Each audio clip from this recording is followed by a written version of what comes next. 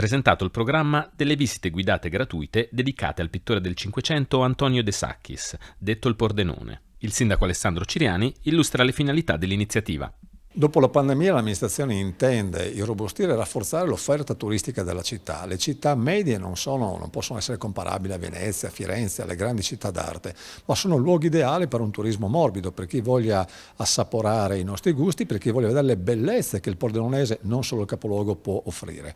Per questo abbiamo puntato sulle bellezze di Pordenone, naturalistiche, paesaggistiche, artistiche, sui nostri contenitori culturali, ma anche sul Pordenone, un artista che rappresenta la città. Dopo la grande mostra tutto non si può spegnere semplicemente in un ricordo e quindi il poter visitare i luoghi del Pordenone all'interno della città unito al resto dell'offerta turistica è sicuramente un plus, un più che può contribuire a portare visitatori in città e anche a dare una mano alla nostra economia. L'assessore Alberto Parigi ci spiega i contenuti.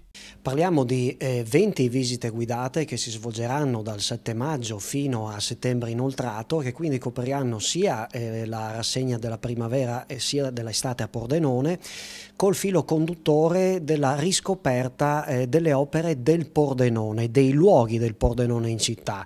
Quindi non solo nei luoghi classici del Duomo, del Museo Richieri, ma anche nei quartieri. Questo per due motivi. Uno perché Pordenone Napoleone ha dei tesori nascosti anche nelle chiese dei quartieri misconosciuti e dall'altro per dare una continuità ideale alla grande mostra del Pordenone che è stata organizzata qualche anno orsone, anche un'operazione di riscoperta dell'orgoglio, dell'identità, delle radici, della consapevolezza dei pordenonesi riguardo i loro tesori e anche un modo di promuovere Pordenone utilizzando la leva della cultura, delle visite guidate, degli eventi, dei grandi concerti, in un quadro complessivo appunto punto di promozione della città.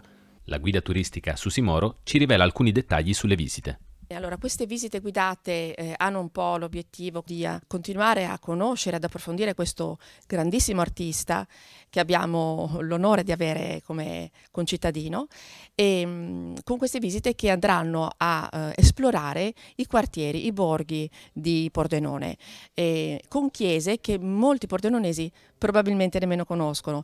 La chiesa di San Dulderico a Villanova Vecchia, la chiesa di Santi Ruperto e Leonardo a Valle Noncello e la chiesa eh, di San Lorenzo a Rore Grande. E attraverso appunto questo mm, cammino, eh, attraverso queste tre chiese, scopriremo davvero eh, un, un Pordenone che è tutto nostro, ma che già anticipa il grande artista che poi eh, viene conosciuto in modo internazionale. È possibile prenotare le visite tramite l'indirizzo mail visiteguidatepn-gmail.com.